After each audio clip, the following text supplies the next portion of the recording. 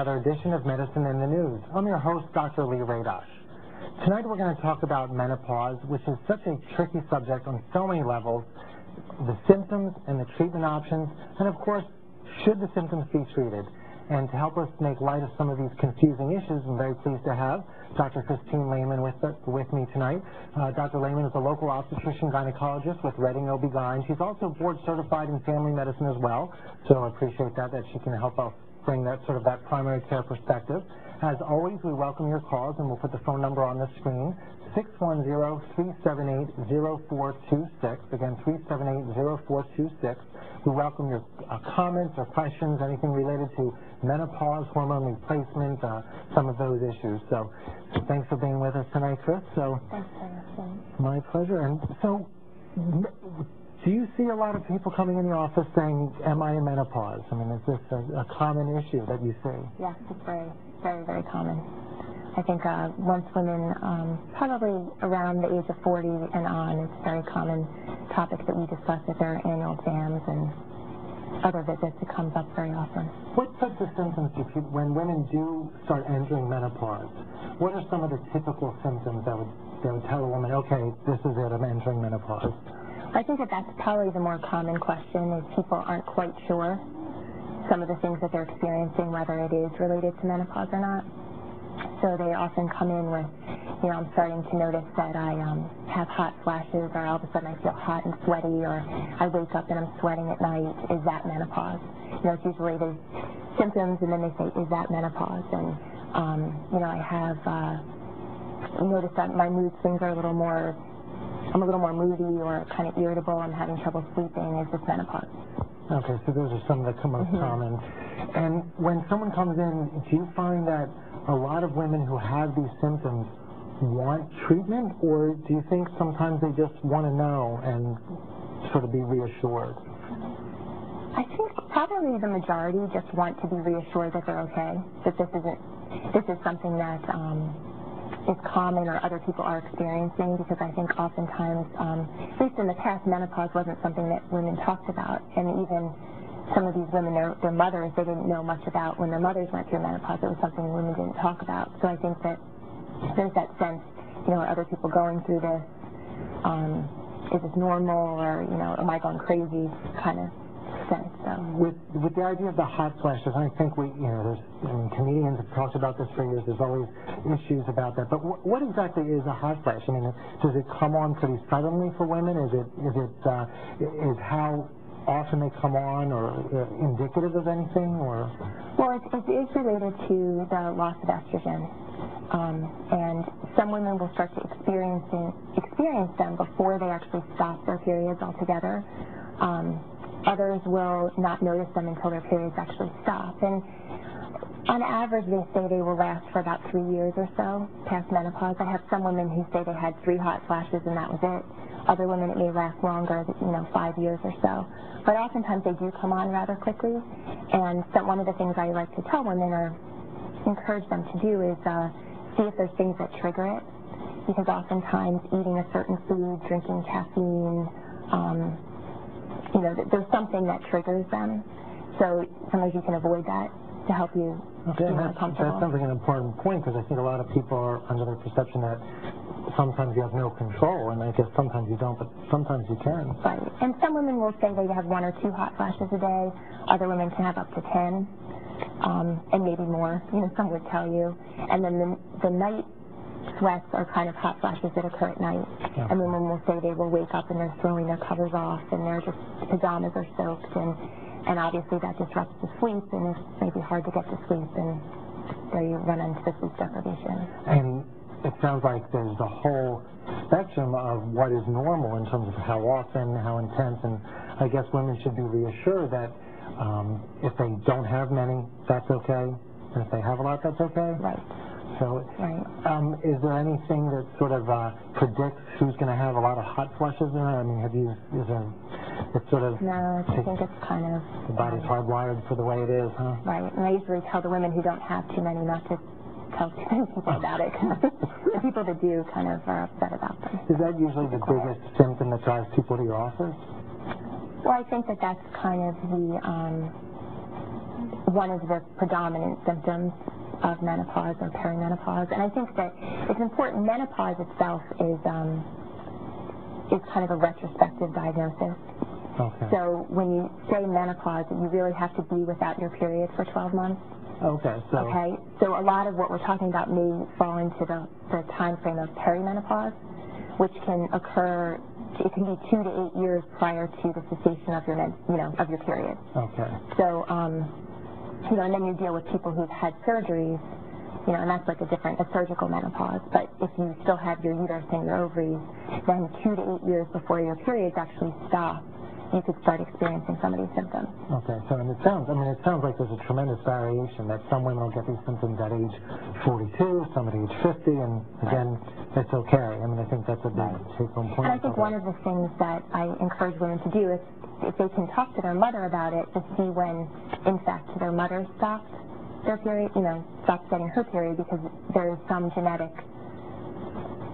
association. So if your mother, the average age is really is 51 in our country, but again, you know, there's a wide, usually between 45 and 55. It can be anywhere great. in there. And if you could put up a first graphic, or something that you had mentioned, uh, Chris, is that there's different types of menopauses, and more and more we've been talking about the sort of the natural menopause, where most women just as they go through aging naturally enter this. But then there's surgical, premature, post-chemo radiation. I guess, what does that mean? What is surgical menopause? Well, there's a variety of reasons that women would um, have a hysterectomy, um, have their uterus removed, and oftentimes with the hysterectomy they'll have their ovaries removed. Um, usually, um, women don't just have both of their ovaries removed without their uterus, so that's why I said usually in conjunction with the hysterectomy. But for whatever reason, um, your physician may recommend that your ovaries be removed, and that would be a, a surgical menopause. Okay. And what you find with that is that abruptly the estrogen and all the hormones that come from the ovaries are just removed. So oftentimes women have a very um, kind of quick response in terms of hot flashes, and you know it's, it's a little more heightened than a natural menopause. It tends to be a little more gradual. Okay. Oh, okay. So, But th- that could occur. I mean, women of all ages need to have their ovaries out. So it can, you know, be young women in their 30s, closer to 50. You know, there's a wide range. Okay. And I think as we talk about some of the treatment options, you know, we'll need to figure that out if women who have had surgical menopause, some of these issues with estrogen and other things may or may not apply. Right. And uh, in terms of premature menopause, what is that? Is it, Well, there's we don't we're not exactly sure why it happens, but sometimes um, a woman's ovary ovarian reserve um, they don't have as many eggs or follicles and therefore don't make normal hormones. So it can be as young as I mean very very young, 20 years old. okay, so it's Um, again, so it's sort of a natural menopause, but it occurs Right. much, much younger than usually the, you know, age 51 or somewhere in that Right. neighborhood. And of course, women who have undergone chemotherapy or radiation could have their ovaries and estrogen levels affected as well. Correct. Is what it sounds like. Um, we were talking about hot flashes a little bit. What are some of the other symptoms of menopause that you commonly see, or that, or and, and or I should say that women experience? Right. I think another um, very common thing is vaginal dryness, and that's manifested um, oftentimes with painful intercourse. Women say that um, they just have pain now when they have intercourse. They have burning during or following. Um, they can have uh, burning with urination, kind of just a sense of the vaginal area being dry and, and sore. And um, is that something that you find that women are open to discuss with you, or do you find that it's something that you have to sort of, it, it, varies. I, I would say about half and half. Oftentimes on a, a physical exam, an annual exam, I kind of notice that there are some of the um, signs of estrogen deprivation, and I will often ask, you know, are you having problems? And, uh, you know, I'd say about half the time women would say that they are, and other times they're not. But And, you know, this ties into, uh, I guess it was just, was it, in the news a week or two ago, they released this big study that was in the, the Reading Eagle and the lay press uh, regarding sexuality in people in their 50s, 60s, 70s. And, I, you know, I don't think it's any surprise to, to you and me when we talk to our patients, but uh, some were surprised that, of course, there's a lot of sexual activity and sexual interest. Um, have you found that in your practice that that's the case, that someone, that, you know, more than may be expected? Right. I think people are, um, they expect that they should um, continue to have asexual, their sexuality shouldn't really be affected as they get older, and they kind of are upset by these side effects because it does um, affect their relationships. So you talked a little bit about vaginal dryness. What about libido in general? I mean, do, do women's sex drives, I mean, obviously, again, it's based on the individual, but uh, will a drop in estrogen, do you find, affect sex drive for a lot of women? Yeah, people, um, I think studies support that as well, um, and people will describe that they're not as interested. But I think that the important thing to talk with your doctor about is, you know, is it because of vaginal dryness that you're not interested because it's painful? Um, are you just not interested? Do you enjoy it, sex when you do have sex? You know, um, there's a lot of issues that can be explored with your doctor, you know, to kind of look into is it really just lack of libido or are you just uncomfortable? Right, and actually, if we can put up the graphic, there's, um, uh, in terms of uh, postmenopause, again, that's after the periods have stopped, and at least some of the statistics I saw, at least 50% of women, postmenopausal women, are sexually active, and of course, the studies that were out recently just confirmed that. Right. And uh, I guess medications are important to take a medication history, and then we'll talk in a minute about treatment. What about medications? I mean, uh, do you find that uh, women are, I mean, especially by the time they're in their 50s and 60s, many are on several medicines. Right. I think one of the um, the main culprits that I see are medications for depression, um, Zoloft or Prozac or that kind of thing. Um, sometimes will decrease libido. Um, and then I know the other important thing is uh, that I encourage women when they come to talk to me is to talk with their partners because sometimes um, women will uh, perceive that this is a big problem, that they're not as interested in sex or having sex as often, but when they actually speak with their husband, their husband is kind of the same and they're on the same page. So I think that it's important to say, is it really a problem in their relationship? You know, is it causing a problem? Because if they're both on the same page, then Right, so it You know, sounds like no. it gets back to the basics of communication. Right. That's so important. And uh, there's a lot of treatment options, and one of the things that um, is recommended highly is things like over-the-counter lubricants. And on the one hand, it seems like so basic, but it really can be such a change, you know, uh, uh, really alter things. I mean, have you found patients that say, hey, listen, I did try that and it worked? Or, Yes, yeah. And it, it helps. I, I actually have some samples in my office of some of these things, and, uh, you know, I think that, um, you know, as with a lot when it has to do with sex, people aren't always willing, wanting to talk about it or go to the pharmacy and and, buy hey, where's Sure. the Astroglide? Right. You know, but I think that sometimes they do try it and feel that it makes a big difference. Okay, So great. they're happy with that. Um, getting back also to sort of the, the just diagnosing it and knowing it, and you and I were talking before, many times I'll have patients come in the office with symptoms, and I think it's menopause, and we talk about it, and then we talk a little bit about blood tests, especially if the woman brings it up, but in reality, I mean, there's no burning need to make the diagnosis if you think that's what it is. Is that sort of the case, or? Well, yeah, I think that um, there's often the assumption that a blood test will confirm or not menopause. And as I mentioned before, menopause is really, you have to look back over the last 12 months of a woman's life. And if she is not having any periods, then you can say she is in menopause. And then the time from that point on is her postmenopause.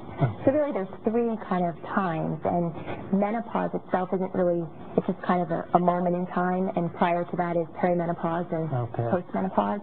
Um, so is, what I tell women, I mean, if you're experiencing some of these symptoms, your periods are starting to be irregular, you may skip a month, one month may be light, the next month could be heavy, um, you may skip, you know, skip a few months. Um, it's likely that this is perimenopause, and a blood test isn't really going to change anything or make any, it's not going to change the diagnosis. Right. It's kind of what it is. It sounds like what's going on. And as I also say, is the nature of perimenopause is that your hormones are fluctuating.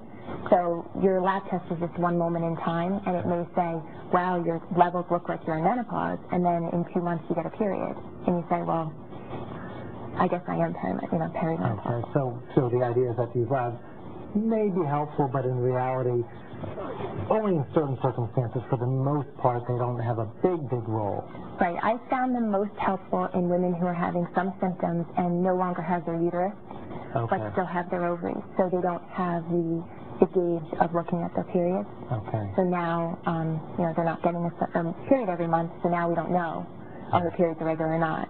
So we're just going based on symptoms. And I guess we should mention, too, that many of the symptoms of menopause really can mimic other things as well, other hormonal problems, thyroid problems, depression, and I, I guess we can use these tests to really confirm that. Right.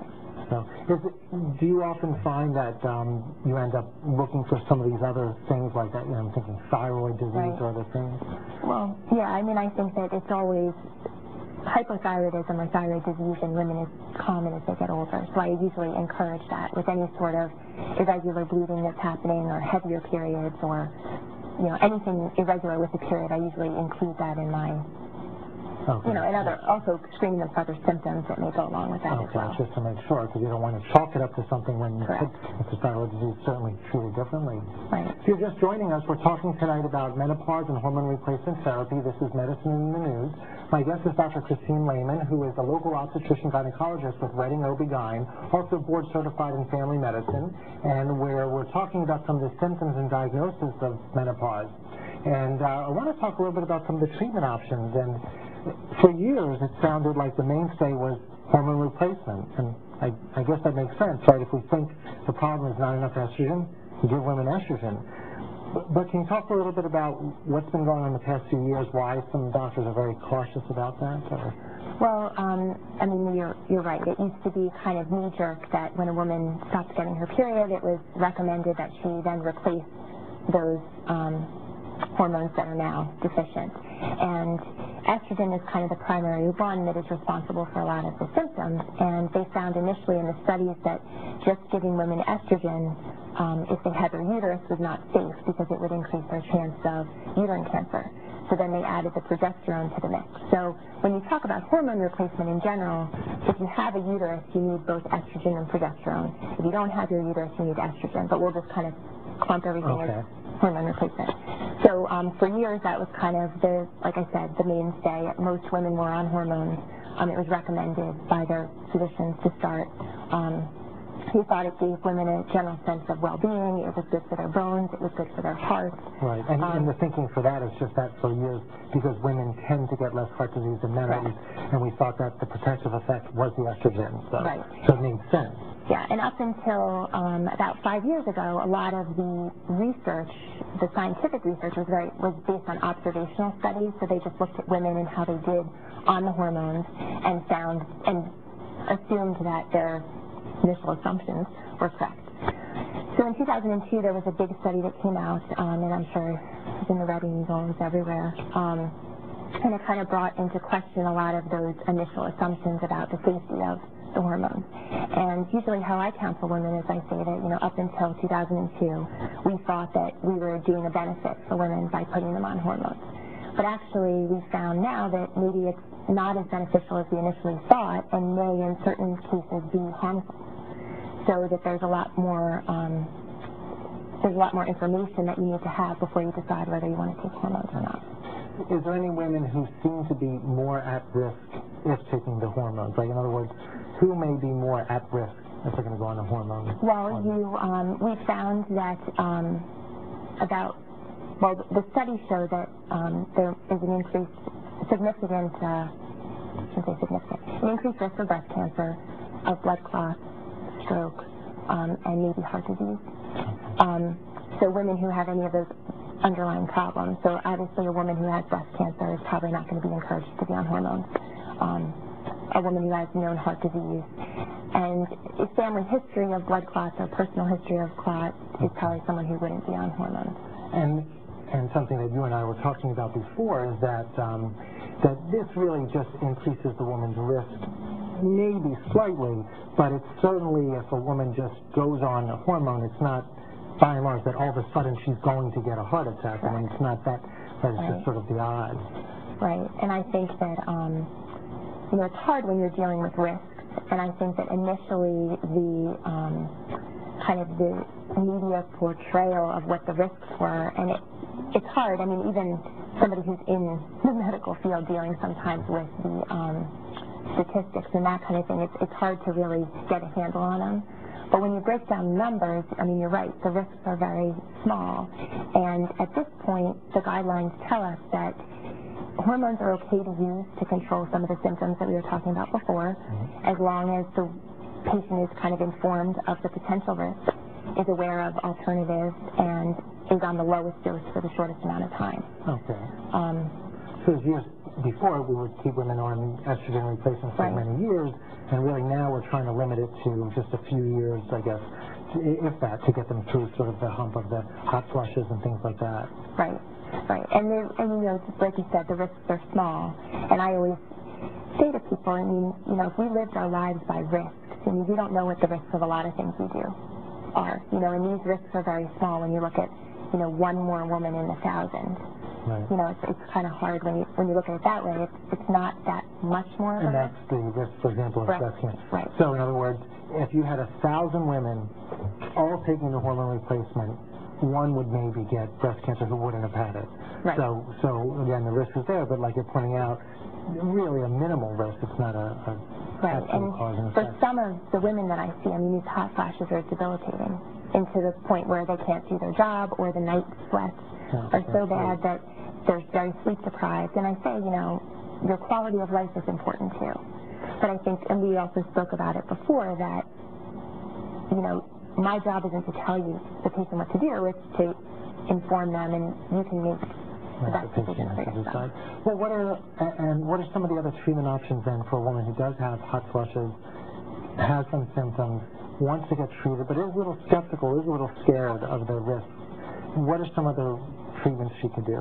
Well, that's yeah. I mean, that's a very good question, and I think that I oftentimes get questions about kind of alternative treatments, and I think that um, there's a lot on the market, Mhm. and there's some over-the-counter products, um, some herbal treatments that women try, um, black cohosh, um, stories.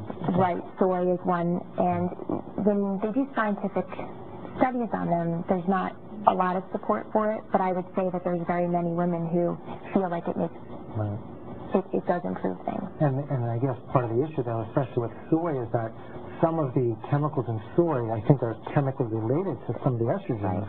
So we're wondering, sometimes I wonder, boy, if a woman's taking soy, is she really taking a, an unstudied estrogen? I, I, Right. don't, I don't know if that's Well, I think that that's the other thing to look at because I oftentimes have questions about bioidentical hormones, right the and um, again, you know, those aren't necessarily studied, and they're compounded by pharmacists, and women do feel better on them, but the thought that they're necessarily safer is not a, you know, it's not valid because we don't really know. There's not studies.